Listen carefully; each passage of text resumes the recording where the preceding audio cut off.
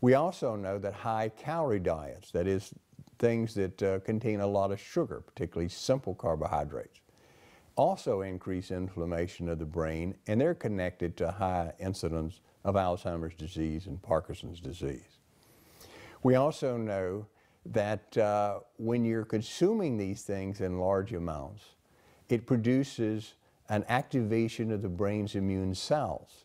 Uh, these are called microglia. We're now discovering that many of the neurological diseases, even multiple sclerosis, strokes, head trauma, are all related to activation of these microglia. So if you're eating a diet that contains these bad foods, you're increasing microglial activity, free radical degeneration of the brain, and you're setting yourself up for a high risk of developing one of these terrible neurodegenerative disorders. Of concern with inflammation of the brain is obesity. We know that people who are obese have a much higher risk of developing Alzheimer's disease, particularly as they get older. And that's because the fat cells and the lymphocytes and the macrophages in the fat cells inside of our abdomen, what's called intra-abdominal fat, produces a very high level of pro-inflammatory cytokines. These are chemicals that produce inflammation. And so when you have a high uh, intra-abdominal fat content, your risk of a number of neurological diseases goes up tremendously. This is a reason to watch your diet as well, so that if you reduce your intake of sugars and uh, high carbohydrate foods, you reduce this inflammation.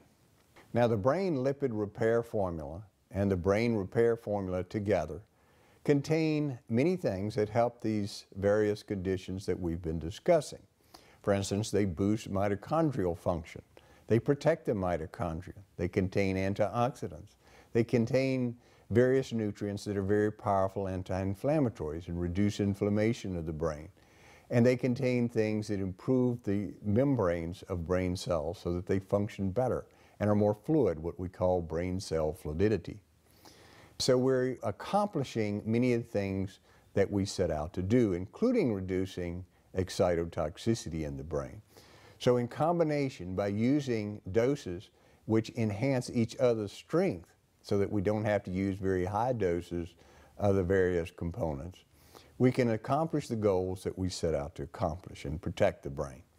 And we feel that based on the scientific literature, if taken over a long period of time in conjunction with a good diet, regular exercise, which includes brain exercises as well as physical exercises, adequate sleep, that you will have a significant reduction in the degeneration of the brain. We thank you and wish you good health.